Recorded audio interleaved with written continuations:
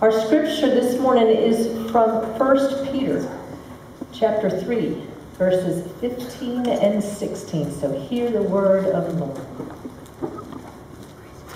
In your hearts, sanctify Christ as Lord. Always be ready to make your defense to anyone who demands from you an accounting for the hope that is in you.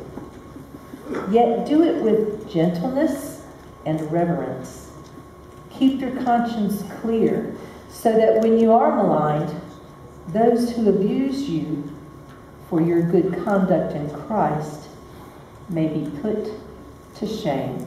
This is the word of God for all of us, the people of God. Thanks be to God. Let's give it up for our youth band.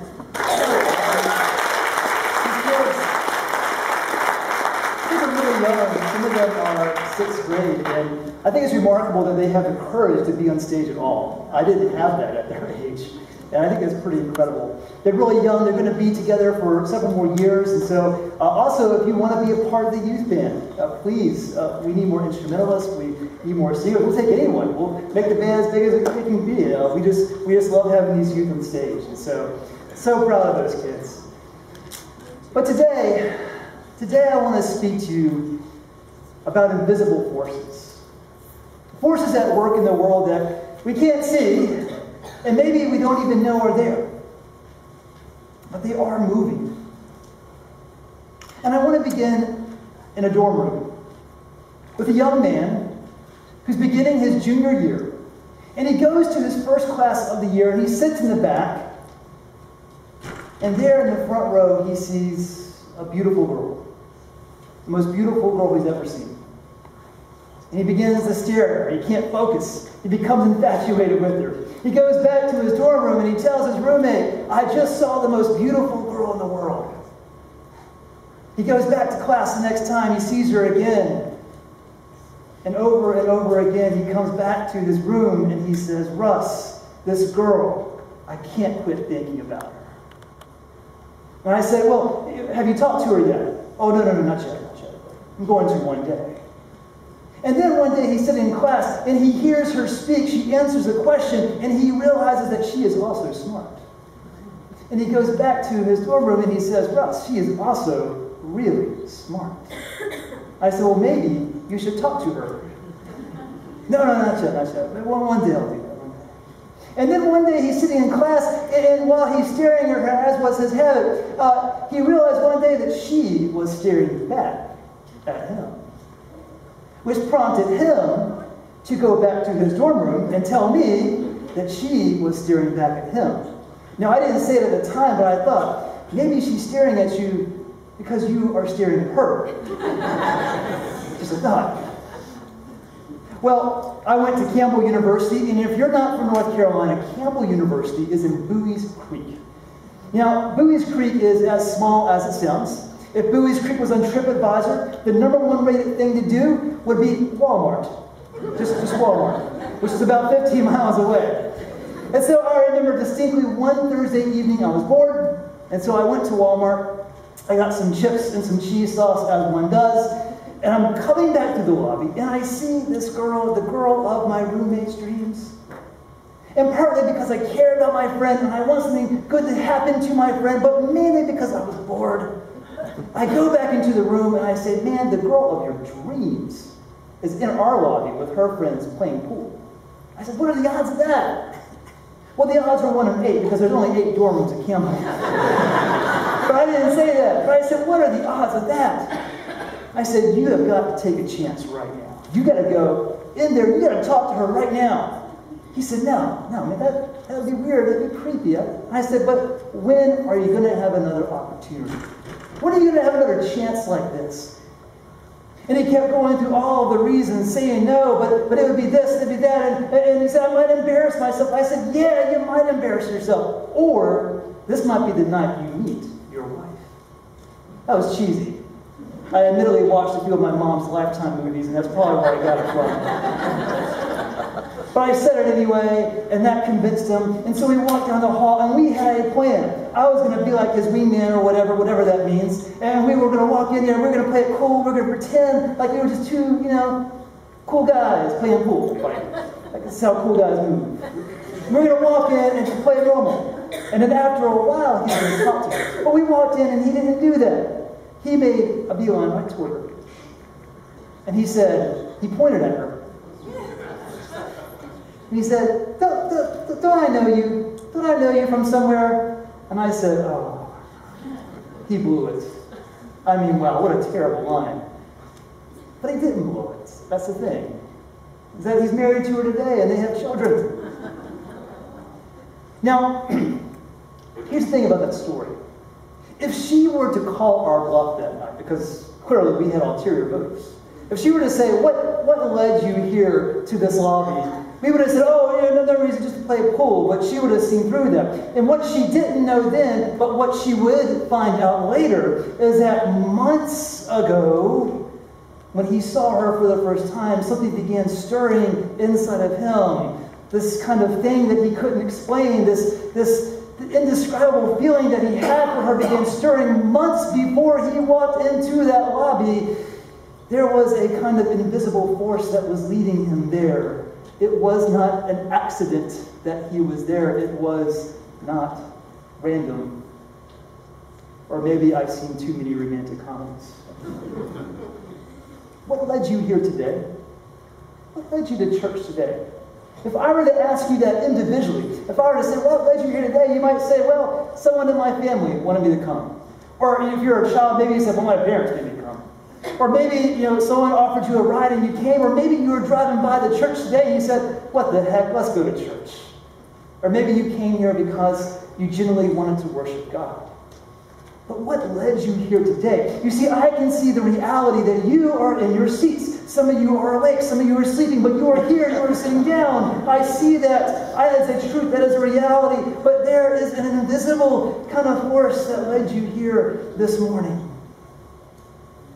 There was a, a line from a, a recent news article a few months ago. It was printed in The Guardian, a UK paper, and it was just a little line. It was a story offering a historical account of an event, but there was a line that someone took a picture of and it went viral. And the line was this In 1965, the marriage suffered a setback when the husband was killed by the wife. Someone took a picture of that and they said, yeah, that's a setback. you see, that is what's printed, that's what you read, that is the reality of the story, but clearly there is something else going on there beneath the surface. Adam Smith, who is credited as being the founder of capitalism, said, We don't have to worry so much about capitalism because there is this kind of invisible hand, you remember from high school, this invisible hand that sort of guides capitalism, right? There's an invisible force that kind of guides things. Sir Isaac Newton, who is credited with, the discovery of gravity, he understood, he pointed to gravity, he said, This is what it is, but he understood the what of gravity. He said, There is a reality of it, but what he struggled with was the why of the gravity. In fact, he actually believed that Jesus, when he came to earth, he came here for the sole purpose of being the person who would pull the levers of gravity. Smart guy he was, but maybe, maybe he missed the mark on that one. No, no. You see, most of us, most of what we see is really just the skin of things. We see the matter, we see the outside. We see the realities. I can see you sitting in your chair, but what I can't see is inside the engine room of what brought you here, of what's stirring in your soul this morning, of what led you here today. Why are you here? What led you here this morning? Could it be that there's a force working in your favor? A few weeks before I started seminary, I drove up to my new home, this place called Durham, where they have some school there. And I was driving there, and it was pouring down rain most of the way, and the rain was ending, and I could see the sunshine in front of me, and so me and my lightweight truck at the time, I began to feel secure in driving. That was the exact moment that my car began to hydroplane. And I started spinning on I 40. I spun around three times. in the middle of I 40, and I do not know how I didn't flip. But when the truck stopped, it stopped perpendicular to the lanes, it stopped right in the middle of I 40. My car was stalled. I couldn't even turn the engine on. I couldn't even turn the key on. I'm stuck there. It was all happening so quickly, and cars were zooming by, and, and they're beeping their horns at me. There was a line of cars heading in my direction, and, and I remember just kind of looking in shock, wondering what was about to happen next. And then my truck rolled off the road onto the shoulder. And I sat there for a few minutes, just wondering what and then once I eventually got my car turned on, I began continuing my journey, this time at 50 miles an hour. And I got back and I told people what happened. And I said, I think there it was like something pushed me out of the way. And they said, Man, you are so lucky. And I said, Yeah, but it doesn't feel like luck to me. Are you here today because of luck? Is it random that you are here today? When you came here this morning, was it just all one big accident that you came here? Tina Seelig spent two decades studying what makes some people more lucky than others. And in her findings, after several interviews and after lots of research, she discovered that people, that luck is not just a random lightning strike, that there's something behind that. She said that people who make more connections in life, who take little risk here and there, particularly with people. She said people who, who, who take social risk by talking to others on an airplane or in a coffee shop. She said that people who take emotional risk by telling people you care about how you feel. She said people who take chances on others tend to be more luckier. They have more things happen to them. But do we as Christians believe in this thing called luck? Do we believe that things just randomly happen and, and there's no sense of anything? Maybe someone would like you to believe it, but that is not our faith, is it? We believe that there is a kind of invisible force at work that's not taking away our free will, but a force that is working in our favor. I believe that this researcher was onto here.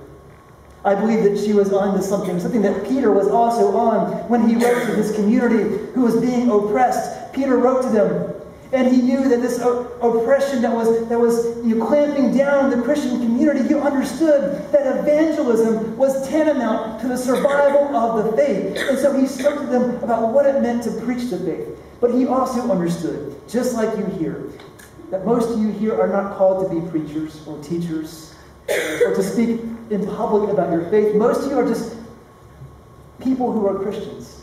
And so, you know what Peter said? He said, Look, we got to talk about it, but here's what you can do. Don't go making tracts and go door to door. Okay? Here's what you do. When someone asks you about the distinctive hope that you have, about the distinctive joy, about the distinctive mission that you have in your life and in your heart, have a prepared response. Say, look, I have this hope because of Jesus. I have joy today because I know that this life is just a beginning. Have a prepared response on your lips to say it. But even more than that, Michael Frost says, he says, it's not just about having an answer, it's about living a life that would invoke a question. It's about living a, he calls a, a questionable existence. He says, live a life that would inspire someone to ask you why you do what you do. If your life suddenly became an open book, and a stranger was allowed to look inside and to read those pages, and they could see your prayers, they could see your thoughts, they could see every action of yours, would they see anything that would inspire the world? Would they see anything that would inspire them? Would they see any actions that were so good and so unusual that they would ask you about it? But they see that in your life. Are you a questionable person? Jesus was a questionable human being. He lived a questionable life. People were always pulling him and saying, Hey, I got to talk to you about this thing that just happened over here. People were saying, Can I meet you at night? Can I meet you over here for, for an aside? Because I got to talk to you about what you said. He was a questionable person. But it wasn't just because of his teachings, which were fresh and they were compassionate and they were life giving. It was more than that. It wasn't what he taught, it was who he believed in. It wasn't that he taught on the Sabbath, it was who he healed on the Sabbath. It was who he associated with. It was who he took a chance on. It was who he walked through that doorway, that dorm hallway for the top to. He talked to the sick, the impoverished, the oppressed, the sinners, those who were despised by the society that he lived in. He talked to everyone that everyone else had given up on. And because he hung out with these individuals, they questioned him, but not in a good way. And so much so that they eventually crucified him. He was a questionable person, Jesus was. But Jesus never failed to take a chance on someone. When given the opportunity to take a chance on someone, he always said yes. And he takes a chance on you, and he takes a chance on me every single day. Every day I'm like, man, God really put his reputation on the line when he picked me. God really, you know, made it difficult for others to, to follow the faith when he put me in a leadership position. I don't understand it. I still don't get it. Why did God believe in me? Why does God believe in you? But that's the good news. Is that God has never quit pursuing you. People who live the most interesting lives, people who live the most questionable lives, are not the ones who go skydiving, although I don't understand that. They're not the ones who know the five keys to success or who make the most money. The people who live the most curious and questionable lives are the people who take chances on others. That is the greatest mystery of this earth. That a perfect and an omniscient God still believes in you, that He still believes in me, and you are here today because there is a God that still is taking a chance on you. There is a God that is still believing in you. There is a God that still has not given up on you. There are many forces at work in our world today, but by far, the persistence of God's love through the Holy Spirit is the most powerful force in our world. And it doesn't matter how you think you got here today. I can assure you, you are here because God is still pursuing you. God has not given up on you. God has not given up on me. God is believing in everyone here. And that is good news. Amen. Let us pray. Lord, help us to follow your example. Help us to believe in others the way that you believed in us. Help us to pray for others the way that you hope for us. Help us to have patience with others the way that you have patience with us, Lord. Help us to follow your example and to lead a questionable existence. Help us to be so inspired when we live here to leave here today that we would go out into this world and the next person we see, we would choose to pray for. We would choose to believe in. We would choose to heal or bless in some way. Lord, be with us now as we prepare our hearts for the mission. In your name we pray.